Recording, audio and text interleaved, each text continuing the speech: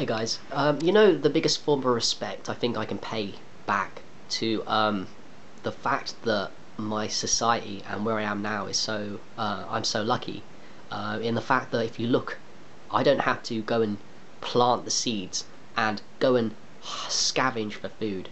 Um, society's built up a chain where I can just go to the shop and buy. Um, the fact that I don't know how to make a sofa for example make a bed and yet all these things are provided to me by um, people that created once upon a time until it became normal. Everything in my life, like uh, everything in your life too, cars, airplanes, all these technological things, even the most basic, basic things like um, building a house, for example. I don't know how to build a house. Who knows how to build a house? Only one one person at one point had to learn the skills to build a house and to build it efficiently, and then people copied, and then it became the new norm. And I feel like the greatest respect I can pay to everyone that has um, given me the luxuries of my life right now, the greatest respect I can pay to them is to myself become what I call a force multiplier, to give a lot more value than your average person.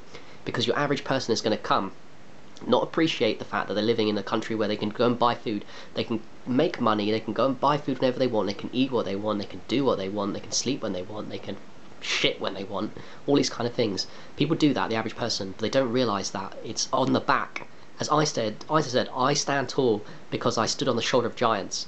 I think all of us, all of us in society are standing tall because we stood on the shoulders of people that made our lives ten times easier now. The people that did everything for us have made our lives to uh, put us to a point, an evolutionary point, where now there is no pressure to survive because survival's a given. Survival's done. We don't have to create to survive now. Other people had to do in past societies.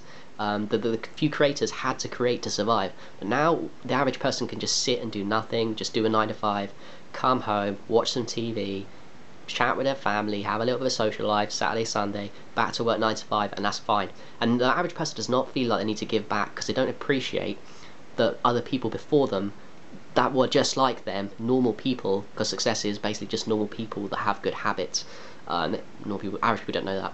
So they don't realise that those people who were like them, but gave but decided to give a lot more back, uh, decided to delay gratification and to make change society, have made their life possible. And there's no pressure on people nowadays, your average person, to do it. However, it's not about me, um, the pressure on me uh, as such, but I feel like I need to give back to society big time to give back a lot more value than if I had never existed on this planet because your average person does give back your average person is good kind, loving, all these kind of things. Not a psychopath, basically. The average person is just normal. They will give back, but it would just be within a, a, sphere of influence of friends and family. That's how most people, average people, play out their lives. Friends, family, uh, no big ideas, no legacy, um, no change in the world, not even changing many people's world, just changing friends and family, and that's it. That's that's their limited sphere of scope, and that can only be made possible because life has been the people before us. We have stood on the shoulder of them, and they've created the life where we can get away with just doing nothing, basically.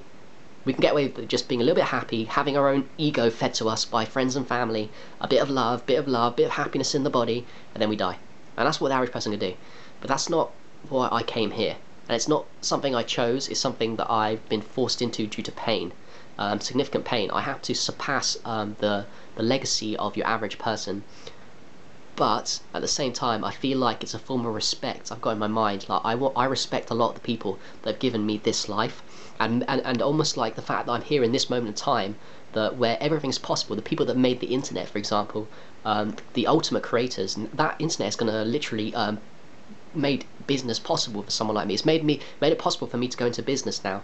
Um, the dating coaches that have gone have made it possible, and I now know that I can also have a great dating life. All these kind of things. These people have made it possible, and I owe it as a, a form of respect to return it the favor back to them. To be like the people in the past that pushed us, and the people now that push the few one percent, zero point zero one percent that push society forward.